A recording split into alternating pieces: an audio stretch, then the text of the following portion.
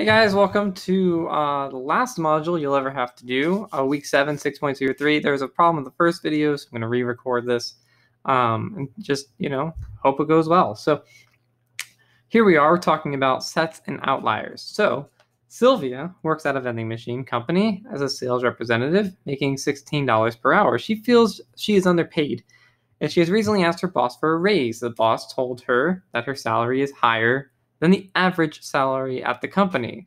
So she will not be getting a raise. All right, now there's ways data can be manipulated uh, so that it seems like Sylvia um, is getting ripped off, or it might seem that she is making enough money that she as much money as she needs. There's more way the same set of data but still having to analyze it particular ways to kind of see it in different lights. So let's look through um, some of this and we'll kind of explain how sylvia thinks she's not being paid enough but her boss thinks she is. We'll kind of see how statistics shows them that. Right just a second, it hasn't loaded. Right, let me restart the module real quick.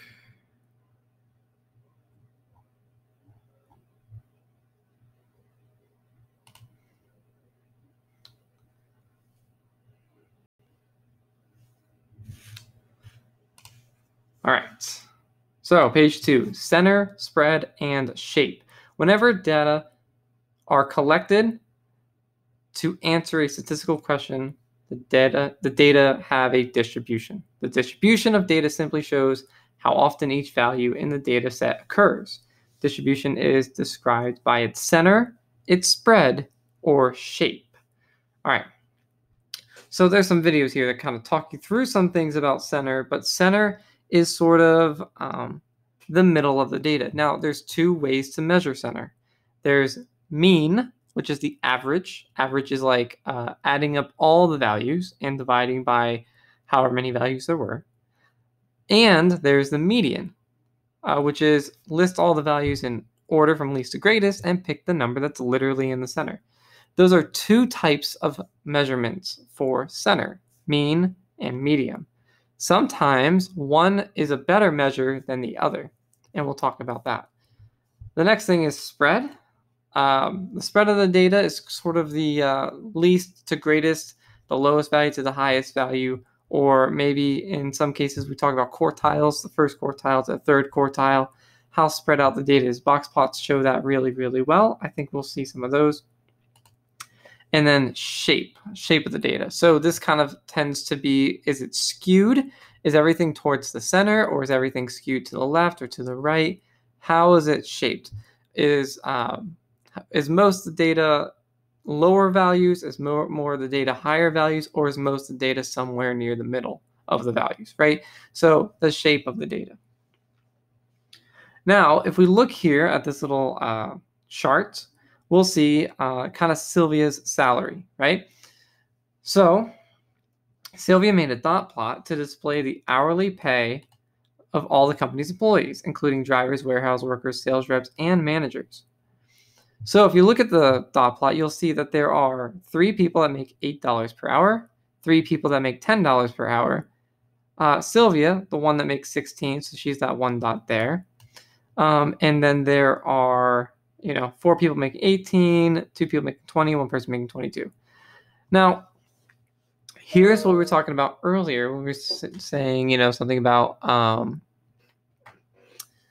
is Sylvia really getting ripped off or is she making what she needs to make? And if you look at this, if you take the average of this set of data, uh, which means 8 plus 8 plus 8 plus 10 plus 10 plus 10 plus 16 plus 18 plus 18 plus 18 plus 18, right? Adding up all those values and dividing by however many there are, it looks like there are 6, 7, uh, 8, 9, 10. There's 14 data values uh, so add up all those values, divide by 14, and you get the average. Now, as they're doing here, 8 plus 8 plus 8, 10 plus 10 plus 10, plus 16, right? Plus the 4 18s, plus the two 20s, and plus the 22. Divided by 14, the average is 14.57. Now, uh, Sylvia makes $16 an hour, which, so her boss is right, she's making more than the average. However, if we use this as the center of data, which is the mean, uh, you'll, you know, it's kind of misleading because look back at the chart here. You know, there are all these people that are making eight to ten dollars an hour, they might only be warehouse workers, right? Or drivers or something, right? All the people that Sylvia should be compared to are probably these people here making $18, $20, and $22 an hour. She's obviously at the end of that spectrum. She's at the lower end of that spectrum. So she's in the average. Yes, she's higher than average, but the average is including all those lower wages. So it's not really fair to say, right? So maybe the mean is not a very good measure of center for this because the data is spread out and it's skewed. You have a left side where you have low wages and a right side that has high wages. Yeah, she's in the middle of it, but you know, she should really be more compared to these values, I think, than the lower values. So it's really not fair for Sylvia to be paid $16 an hour when you look at the fact that, you know, you see how everybody else is making their money. Yes, she's making more than average, but that average is brought down by the fact that there's all these people with lower wages that might not be working as much as she is. All right, so find the median of Sylvia's company. So the median is listing all the values in order from least to greatest. So we'd have 8, 8, 8, 10, 10, 10, 16, 18, 18, 18, 18, 18, 20, 20, and 22, right? Listing them all out in order. So you can see that that's what's done here right? And then finding the number that's literally in the middle of it. So I like to take off, let's see, if I take off, that's six values in the beginning, and these are six values at the end. So these two are the ones right in the middle. So you take the average of those, basically what's halfway between 16 and 18. And well, the average there is 17. So the median is 17. So remember, there are two ways to measure center. There's the mean, the average, and there's the median. Now they're both different values, but you'll notice now this one, 17 is the median, and we know that Sylvia makes 16. Sylvia's making less money than that, right? The $17 per hour median is more than Sylvia's making. So now Sylvia can go to her boss and say, hey, boss, look, I know I'm making more than average, but the average is kind of a bad measure of center for this set of data simply because the data is, you know, segregated into two parts. You have a low end and a high end. A be- better measure of center for something that's skewed like this is the median. And if the median's a better measure of center and Sylvia's making less than that median, then she is being underpaid. And she should be at least paid $17 per hour, if not 18. Um, so that's the case that she's going to make to her boss. And that's what kind of this analysis breaks down. All right. Now, what about the shape of the data, right? So again, we kind of I kind of already briefly touched this. The fact that the shape of the data has you, you have you have your low end and you have your high end. There's really no middle ground. It's sort of a strong split, strong divide between lower paid workers and higher paid workers. And when you have a divide like that, you wouldn't want to use the mean as your measure of center. You'd want to use something that's the median. So something kind of to remember is that um, if your data is symmetrical, meaning that all the values here kind of there's symmetry to this uh, chart, then mean is a good idea. But if it's not symmetrical, and this clearly is not symmetrical because you can see how divided it is, uh, then the median is a better measure of center. And that's what um, all this kind of explains here.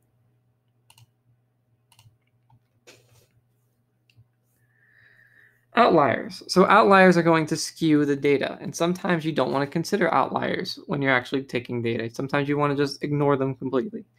But we'll see what this kind of has us do, right? For some of the data sets, some values can be much larger or smaller than other data values, right? We call that an outlier. Um, because of this, it can create a lopsided graph, right? As you can see here on the one that's in this little video clip, uh, that outlier is going to create kind of this long skewed line uh, to the left.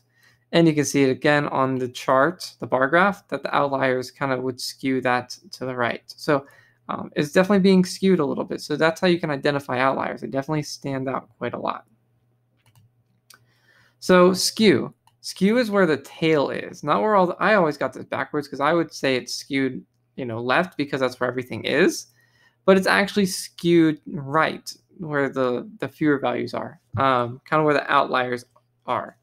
Uh, the tail is the direction it's skewed. So since our outliers would be kind of like five and six here, uh, all you have, you know, you have that tail off on the right, so it's skewed right. Whereas if the outliers are to the left, you know, then it's skewed left. All right, so take a look at the data set below. At first glance, it may appear that 21 is an outlier in this data set. Now let's order the set from least to greatest. 21, so they're, they're ordering from to greatest. Now 21 is not placed between 43 and 63. It does not look like it's as out of place as it was before. It's not an outlier. 21 is not an outlier. It's not too far away from the rest of the data points that you would consider this to be an outlier. Okay, but it will skew the data towards that direction simply because it is kind of out there. It's definitely significantly lower than 34 and 38 and 43, but it's not uh, it's not like nine, you know, where it's it's way off that mark. So kind of know the difference between uh, how outliers affect it and how it skews the data one way or the other. An important thing, skewed data do not always have outliers. Good, it's a good point. All right, so now we're looking back at Sylvia's example. We got the same dot plot as before. If she included the owner whose hourly salary is $51 an hour, how would that change the statistics? So you'd have to add a giant outlier all the way over there, right? For 51. You'd have one dot at 51, you know, extended way down. So that's clearly an outlier. So you won't really want to use that in a calculation because it's going to mess up all the rest of this data. But let's actually calculate it and see what effect it has. So if we throw that in the equations, right, um, just so you understand where this is coming from, 204 was the original sum when you add up the 8 plus 8 plus 8, 10 plus 10 plus 10, 16, 18, 18, 18, 18, 20, 20, 22. You add up all those values, you add it up to 204. So this is the same number that we got from before. Remember dividing by 14 because there are 14.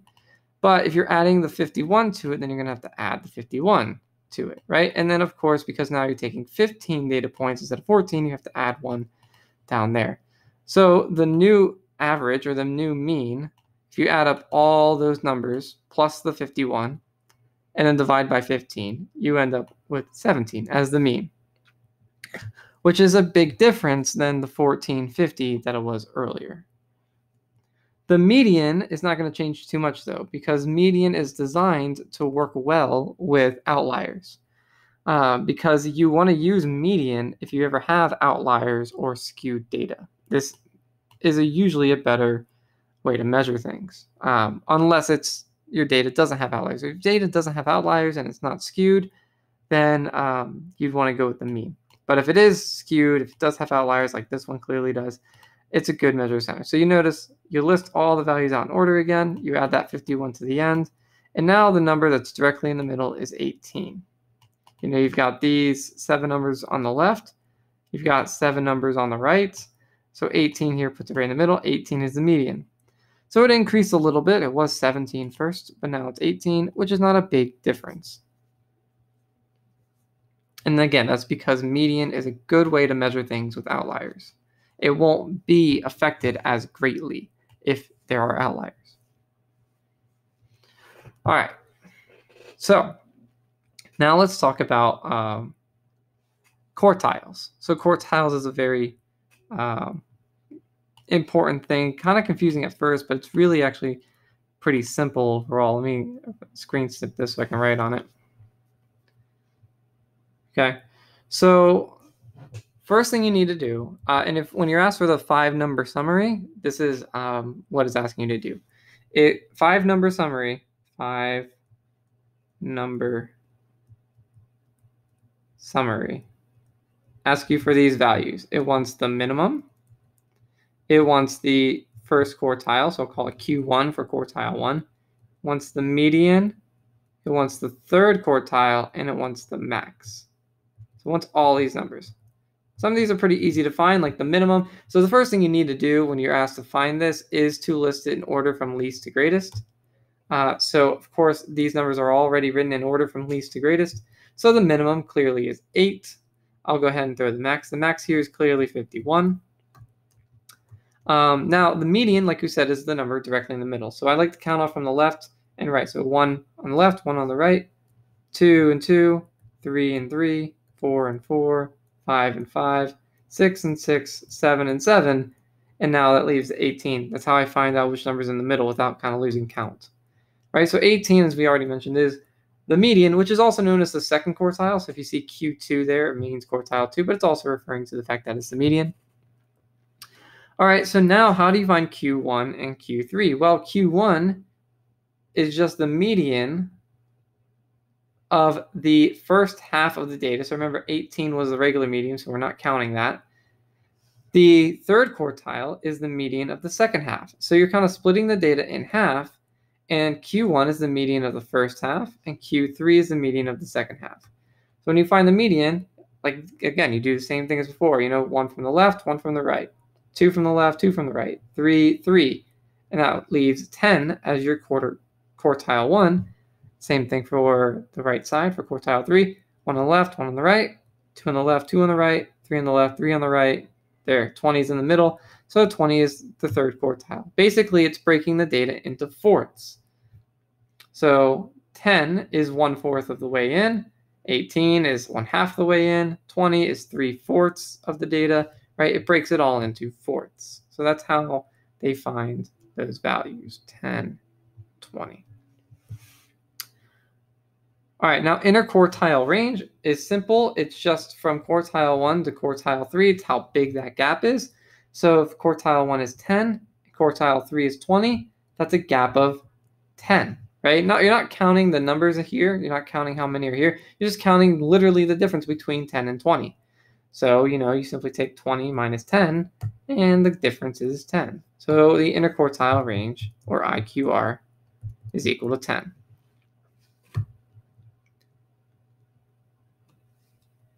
All right. Um, da, da, da,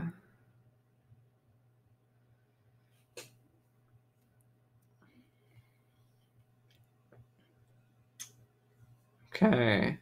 So here's a box plot. Now the box plot here, all right, so what they're doing just, um, I guess what this is about is this is kind of uh, discounting the outlier if you don't want to put the outlier in there. Um, I'm not going to worry about that because I don't remember there being any questions about that on the quiz. But here's your box plot. Now, just so you understand how to draw a box plot, this is what happens. You need to use these five numbers. So you plot those on a number line. So on this number line, we're going to put a little mark at 8 because 8 was the minimum. You're going to put a little mark at 10 because 10 was the first quartile. You're going to put a little mark at 18 because 18 was the median. So another mark there. You're going to put another mark at 20 because 20 was the third quartile. And you're going to put a mark at, well, not 51 because we're not going to count that as the outlier, but the original max, which was 22. So they put a mark at 22, which was the maximum without the outlier. So you have five marks on your paper, and with those five marks, you connect the quartile 1 value and the quartile 3 value with a box. And then you connect the minimum and maximum with a whisker. So that's kind of how you can see how you get that box plot. So it's really five values. It's one, two, three, four, five. That's a five number summary. You have the minimum here. You have quartile one there. You've got the median here. Then you've got right there, you've got quartile three. And then of course at the end, you've got your maximum. Like I said, you just connect uh, quartile one and quartile three together to make a box. Obviously the median is gonna be a line inside that box. And with your minimum and maximum, you just draw whiskers. Sometimes it's called a box and whisker plot because you have the box and then, of course, the two whiskers. So that's what a box plot looks like. Now this one looks pretty symmetrical with the other other than the fact that the median is kind of skewed a little to the right here. But other than that, I would say it's fairly symmetrical. Obviously, if you counted the outlier and you had your whisker all the way out here, then it's definitely very much skewed. Um, so, you know, but that's how the box plot is made.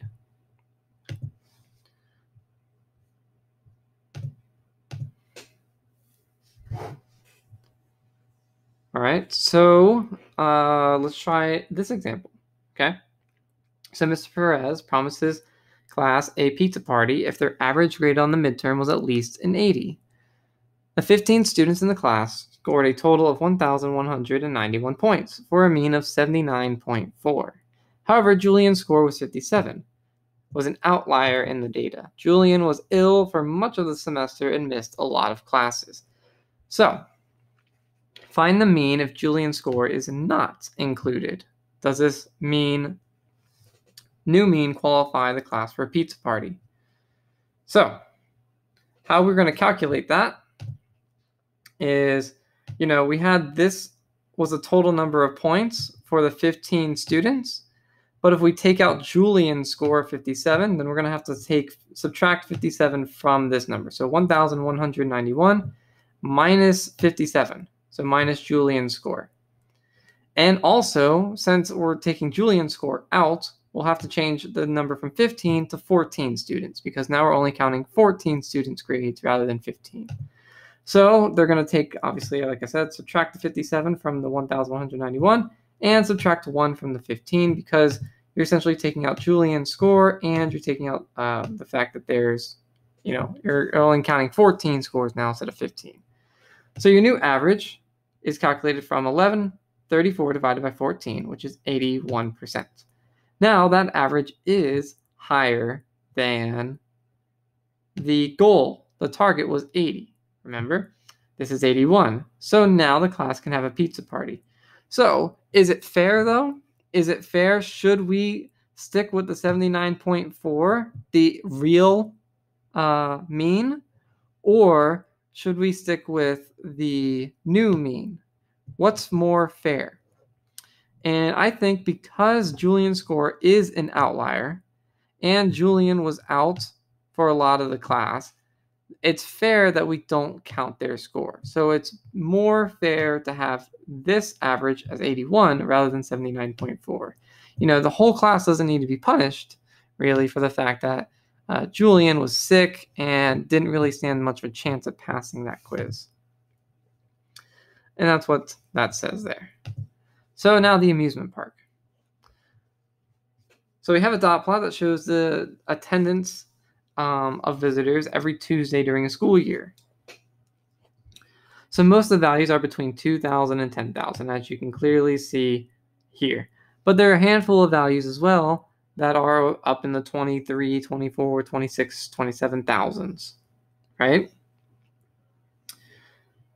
Uh, these are on Tuesdays that fell on school holidays and vacations. So maybe like spring break Tuesday, or maybe like Thanksgiving break Tuesday, or some kind of break. Um, you know, there if if school is out, there obviously a lot more people went to the theme parks. So, is the mean or median a better indicator of the number of visitors likely to be at the park?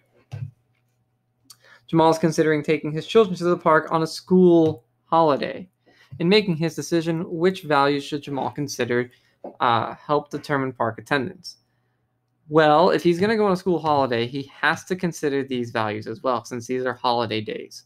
So, if he wasn't going on a holiday, if he wasn't going during some kind of event or spring break or some kind of holiday, then he could just stick with these values and take the average of those. But since he's going on a holiday and these are holiday um, attendance rates, he has to include those in his averages. And like I said, if it's skewed one way or the other, a median is a better measure of center.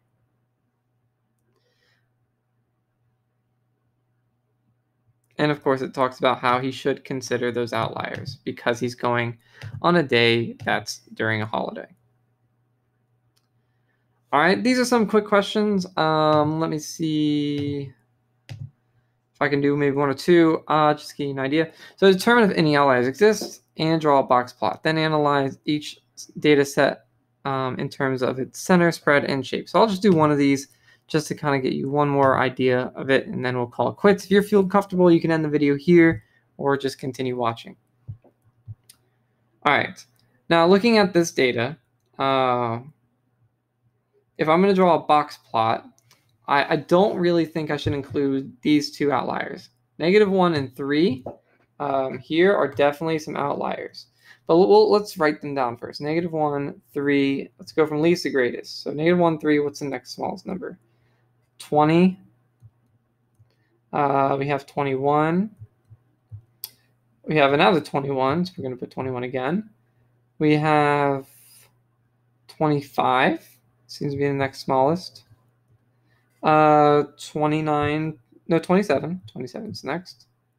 Then there are two. No, there are three 329. So 29, 29, 29. That's one, two, three of them.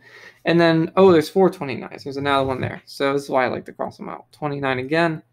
Um, then we have two 30s and a 37. So 30, 30, 37. And that looks like it covers all those data values.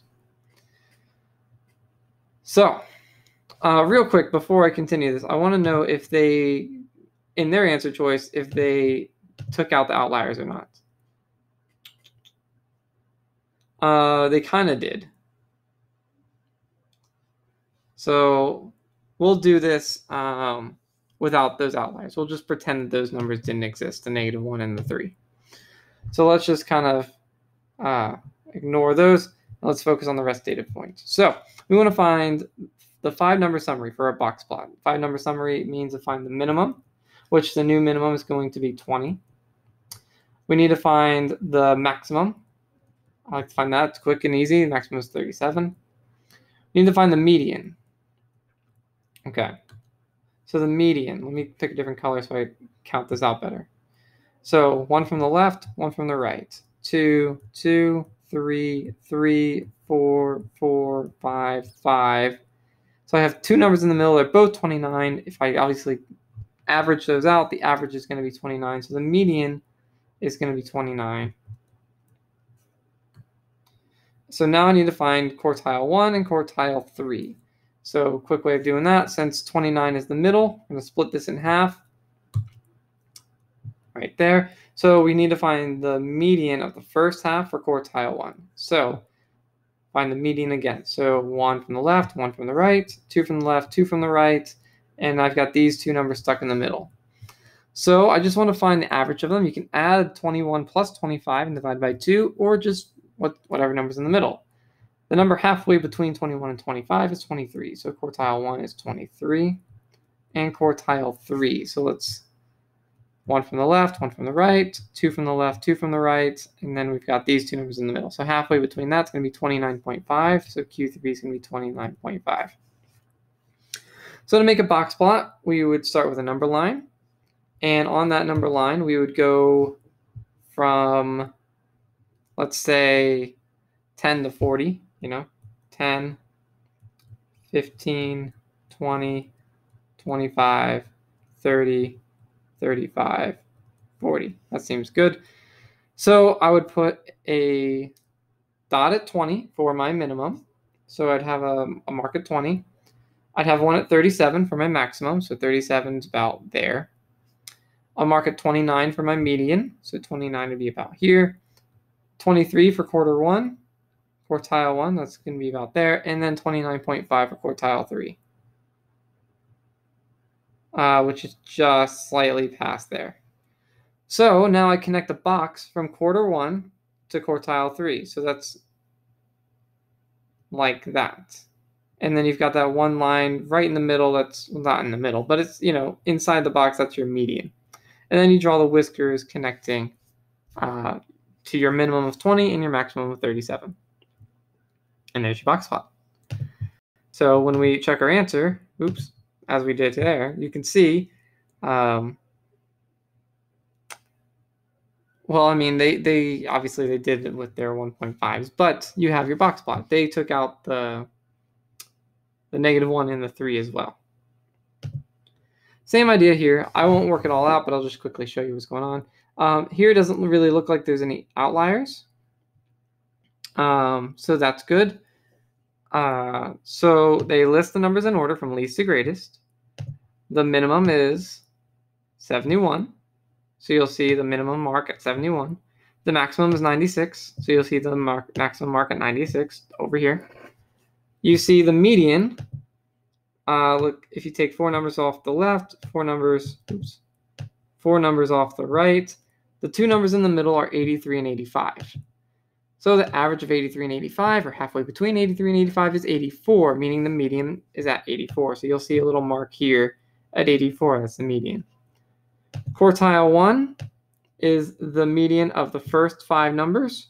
So the number right in the middle of those first five numbers is 79. So quartile 1 is 79. So there's a mark at 79. And quartile 3 is the last five numbers. Again, the median of that. So the number in the middle, which is 90. 90 is the one in the middle of that set of numbers. So 90 is quartile 3. Again, there's a mark there.